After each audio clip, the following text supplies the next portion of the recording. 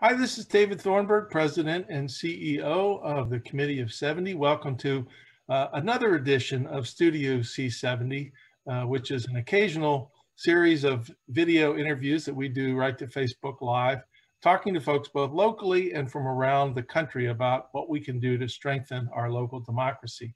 And today will be episode two of the occasional mini series that we seem to be doing on working at the polls. And I'm joined today by Ryan Godfrey. Ryan, welcome. Thank you, David. Great to be here.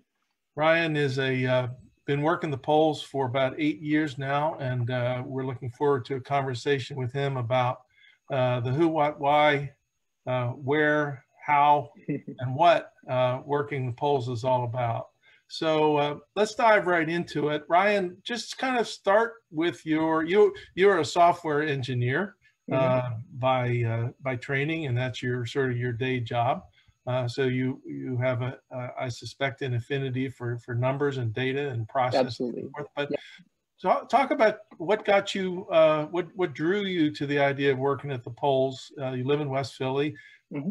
How'd that happen? And uh, maybe spool back to your first experience if you can remember that working the polls. Sure. Well, I, I first got interested. Uh, I think originally I had a uh, a friend who ran for a judge of elections in Philadelphia in 2009, and at that point I was like, "Oh, this is very interesting," and uh, thought that was great that he was doing that, uh, and um, thought, "Okay, well, I'd like to do this too." It was too late for me at that point to have to jump in, but it was something that was kind of in the back of my mind. Uh, and then in the 2012 election, uh, the it got a little bit interesting in Philadelphia. There were some a few people who did some analysis after uh, the election and uh, came up with the fact that there were, I think, 59 divisions in Philadelphia that cast no votes for Mitt Romney. And I thought, oh wow, that's pretty interesting. I wonder, you know, what's going on there, and kind of jogged my memory about having this be something I wanted to do in the back of my head. And I thought, okay, well, I'm going to, uh, I think, do this as well. I'm going to run for office and see if I can, you know, take some uh, some of what I know about uh, data and analytics, and uh, at the same time, you know, help my community and uh, help my city, and uh, do something that you know is is I can kind of put my own stamp of integrity on the outcome of the elections. in, in West Philadelphia. Uh, I, have never actually been, uh, or rarely uh, been a, a, member of a party uh, it's in my adult voting life. So uh, I ran as, as an independent with no affiliation, which qualified me to be a, um, a for the minority inspector role, uh, which is, um, I think at the time there was only two or three people in the city that were not in a, a, formally in a party that had any kind of um, uh, elected office. So that was uh, kind of interesting. I think we're seeing more of that now. It's it, we're starting to see more, but uh, at the time that was uh, somewhat unique.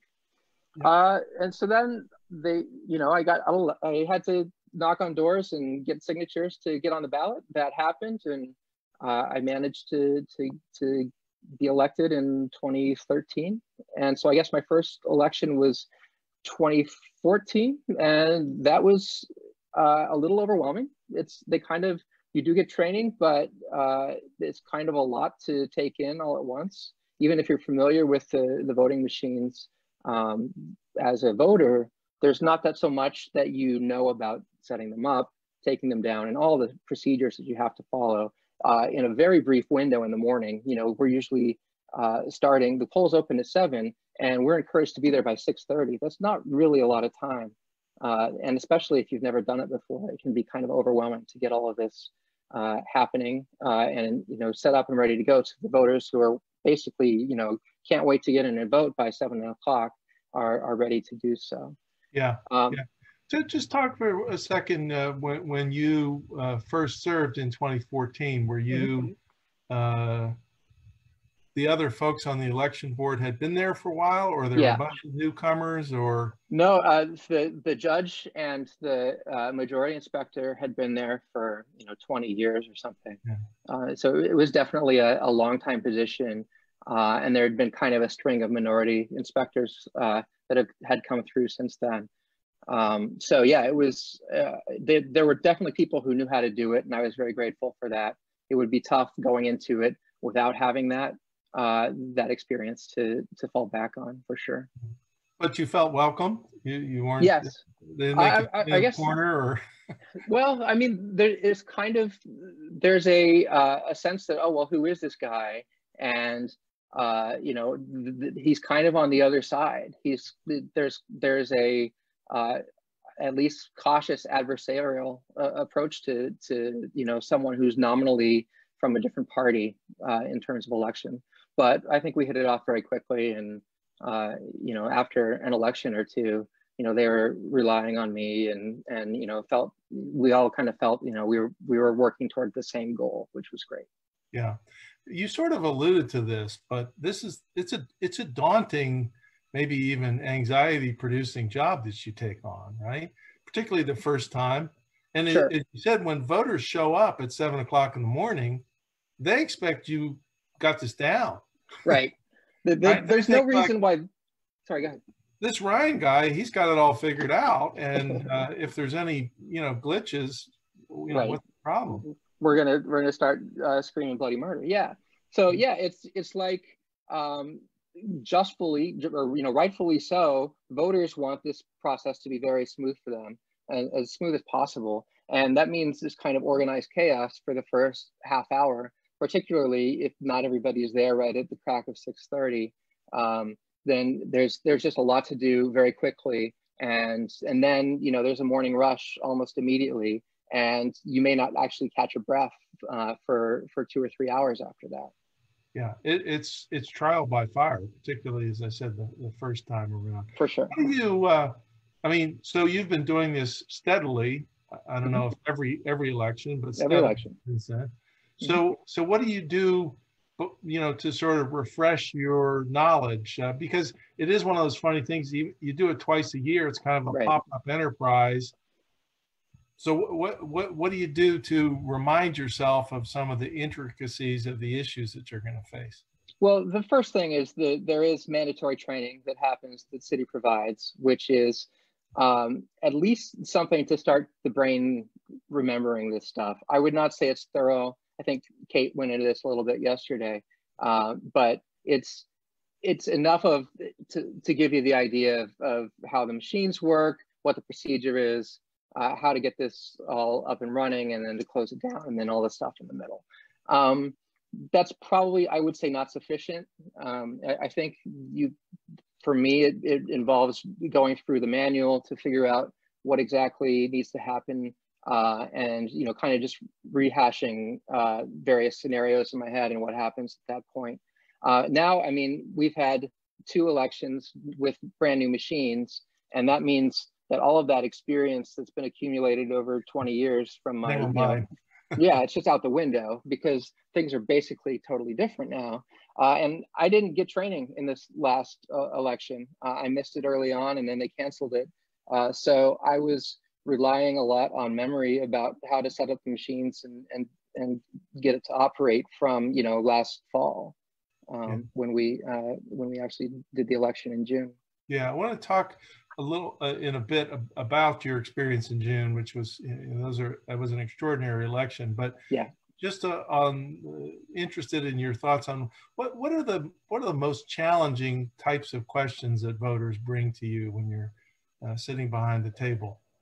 Oh, that's a good question. Um, I would say, first of all, it's just about where where am I supposed to be? I mean, we there's always somebody who just doesn't know where they're supposed to vote, or they come in, they say, "Oh, I, I always vote here. Uh, I can't believe that you know you're saying that I'm not in the rolls." And usually, it turns out that they don't always vote there, and there's some other place that they need to be. Uh, it's very rare that you know there's just no record of this person. Um, you know that you know they're either supposed to vote in another division or they've mo- re- recently moved or something like that. Uh, in terms of other questions that voters ask, uh, especially with the new machines, there's some confusion about what I need to do. Uh, how do I make this work? How do I get the ballot into the machine? Um, those are, I think, very good questions. We only had two elections, and most voters have not been involved in those elections for the most part. They were pretty I, I mean, they're they're not the major elections that we're definitely going to see in November for sure. Um, Are you a Good. fan of the new machines? yes and no. Uh, I uh, I was not, I, I was all, yes and no also on being a fan of the old machines. The old machines were um, basically, I mean, it, it, was a black box. We can't really know what was going inside uh, the machine. So we can't absolutely 100% verify that the, the person you voted for is, you know, actually going to get a, a vote cast for you. But at the same time, it was 80s technology and essentially it was a toaster. I mean, it was not like something you could like, uh, even if you had access to the innards of it in some way, there was not a great way for you to go in and change the logic so that it could, you know, make 15% of the vote go the other direction or something like that. It's just not that sophisticated. Uh, that was one thing that I enjoyed learning about, you know, actually being able to be inside the machines and see what was possible. Just not really that hackable, even though it was a black box. Almost like uh, an electronic abacus, huh? Yeah, it's, it's really just a, a number counter, and there was nothing you could really do about, you know, changing that information.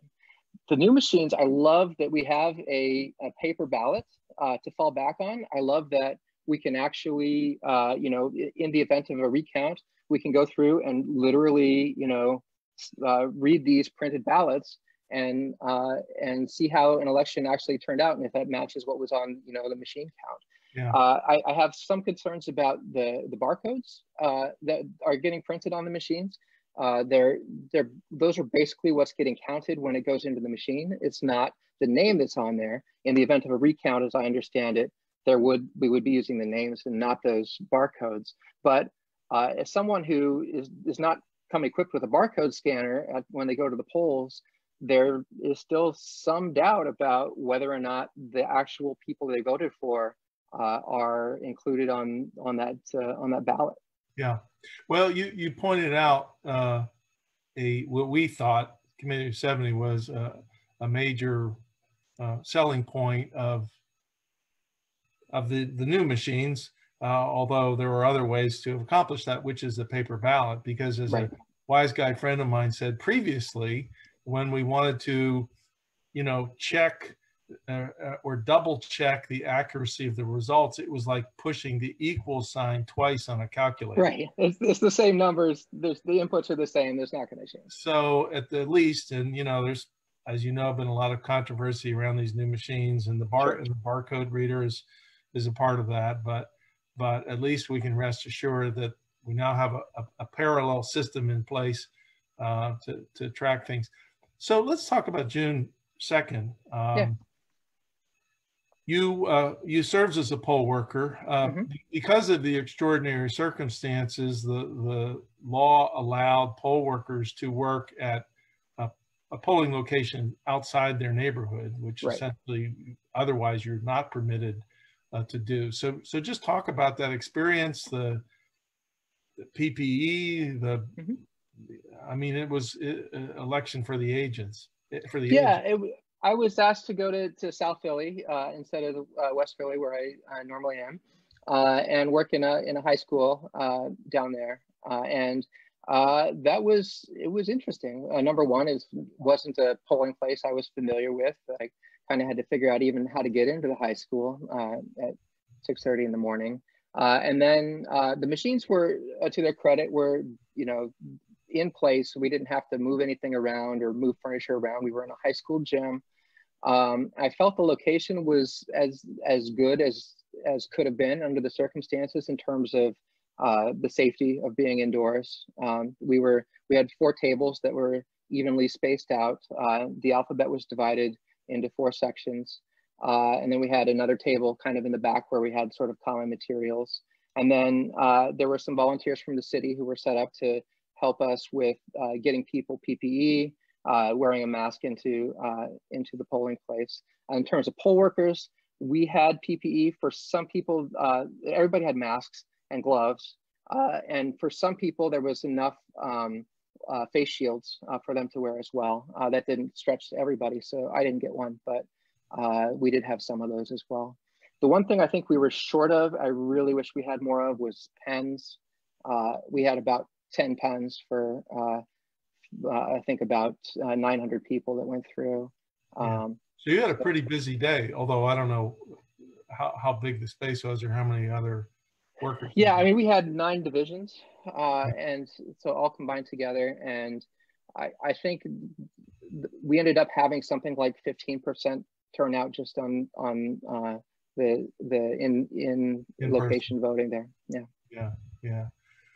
Um, so let, us let's, let's turn to another uh, piece of this puzzle. Um, you mentioned earlier that you had a little bit of a moment in the sun, uh, kind of defusing some of the allegations that were made, I guess, in the 2012 presidential election. Uh, right. People wondering how it, it is that uh, there were uh, divisions in Philadelphia that returned no votes for Mitt Romney, and you sort of dived into the numbers on that. Right. We live in a time of uh, of exploding conspiracy theories. There's a conspiracy theory uh, every day about something or other that somebody's trying to spin around the internet. And, and unfortunately, uh, a lot of them, without naming names, a lot of them seem to center around the election process. So you're by now a veteran poll worker. You also are, are fluent with, with numbers and process and so forth. So I'm just mm-hmm. interested in how you react to uh, conspiracy theories that, that uh, that float out there? What do you say to your family, friends? How do you help them sort of interpret what might be going on or what might not be going on?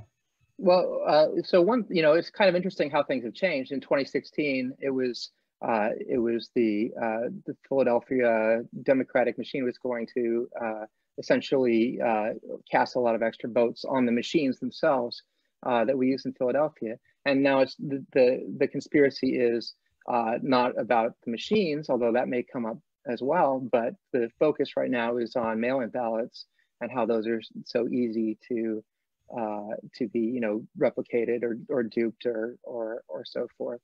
Um, it's it's interesting. Um, my background is is engineering, but specifically about print manufacturing. So I kind of know what goes into uh, you know, printing something like a ballot and some of the safeguards that are involved in in those ballots um, and uh, why it just doesn't make sense that that's an easy uh, route for for election fraud. I mean, the, the because these are we're dealing with uh, basically different uh, different ballots for every division because of uh, you know local people that are being elected, state representatives and whatnot. Uh, it's extremely difficult to come up with a fraud plan that would be able to uh, work across all of these different locations. Um, it's, it's very, it would be very difficult to do so. You'd have to come up with the right paper to match the ballots. You're going to have to come up with uh, barcodes that are going to match all the individual voters and make sure you're only getting the barcodes of people who are not already voting. Um, it's there's just no really good way to to do this efficiently the efficient way to get an, an election outcome that you want is to uh, uh, you know convince people to vote for your candidate. Uh, it also happens to be not the illegal way. Um, it's it's just you can your money spent on you know fraud uh, activities would be much better spent just on you know Facebook ads or whatever uh, to convince people to vote the way you want. It doesn't make a lot of sense to get you know in one division maybe uh, what 100 extra votes that's not going to matter in a presidential election yeah that's that's a great point if you're people forget that the point of all this is to win an election right. so you would think given limited time and resources and energy candidates would focus their time on those activities that made the most difference to right. wit and and it's actually true that, yeah, and and you know we've had some some issues recently in Philadelphia where uh, there are people who have uh, you know been election workers like myself who have, although unlike myself, have uh, taken money to uh, to try and uh, you know rig elections in some way, and the elections that they're rigging are very local, extremely like the, the kind of election that 100 votes might actually make a difference in. It's not a presidential election where there would just be so many people that have to be involved in conspiracy to make it even uh, viable. It just makes no sense whatsoever. Yeah. So let's look ahead to November. Are, I assume you're intending to work the polls? Yes. What, what are you anticipating? I remind folks that there'll probably be twice as many voters yeah. Uh, in November. We're not sure yet how many are going to vote by mail or vote in person. We're not sure uh, what the COVID-19 situations could be a lot of uncertainty and anxiety. So what, what are you anticipating? I, I think you're right. It's going to be roughly double the volume, maybe with all of the by all of the methods. Maybe twice as many people will vote by mail. I'd love to encourage people to vote by mail. It's it's going to make my life easier on uh, in November. Um, but there's going to be probably twice as many people voting uh, at the polls that day, uh, and uh, that's going to make for a long day. It's going to make for a complicated day. Um, I guess I, I would ask people number one, make sure you know where you're voting. Uh, if, if you cannot or do not want to uh, vote by mail, uh, just make sure that um, you know where you're going to be, where you need to be. Make sure your voting uh, information is up to date, that you're registered. Uh, now is a great time to to check your registration and make sure it's it's uh, it's going to be available for November. And then you know bring your bring a mask uh, bring uh, your own pen. I'd love everybody uh, out there you, you got to sign stuff, and I can give the same pen to a thousand different people, but maybe bring your own, and uh, we can you know cut down, minimize any of this uh, this disease transference uh, that we're hoping doesn't happen. BYOP. Yes, exactly. Let's see if we can get that to uh, I hesitate to say go viral, but let's yeah, no, exactly. What, I, I, am uh, today is a uh, uh election worker poll worker double header. I'm going to be talking to uh, City Commissioner Al Schmidt at four o'clock uh, on many of these topics from his perspective. Do you have particular requests, advice? uh, for the commissioners, what, what, what could they do to make the lives of poll workers and, and voters easier uh, and, and smoother in the fall? Sure, I would say uh, uh, training, number one. I mean, it's, it's I, I, know that's on the top of their lists and, and I don't fault them for uh, kind of the chaos that we got pushed into in the spring, but uh, you know, the training needs to be good. We need to have uh, fallback information. So even if uh, you know after we get out of the uh, the mandatory training that happens in person, assuming it does, and I really hope it does, uh, there's got to be videos online. There's got to be uh, materials so that we can handle you know any potential uh, anything that comes up. we need to be ready for. so to the extent that they can provide that information, that's going to be super helpful again, uh, more pens. yeah. I'd, I'd love to have more of them if we can. Hopefully that's a relatively uh, small expense uh, yeah. and, and it could go a long way to keeping people healthy. Yeah. And I, I guess the other thing would just be absolutely encouraging people uh, to vote by mail. Uh, we we want to uh, keep as many people as we can safe. Uh, there's a lot of people that are, you know, poll workers by and large are older and uh, they uh, have uh, compromised immune systems in many cases. Not all of them are going to be working, but the ones that are, uh, you know, I'm, I'm, I'm proud of them and scared for them. Yeah. And so as, as you know, the, the fewer people that we actually have voting uh, in person in November, I, I think the better off we'll be as a city. Yeah, terrific.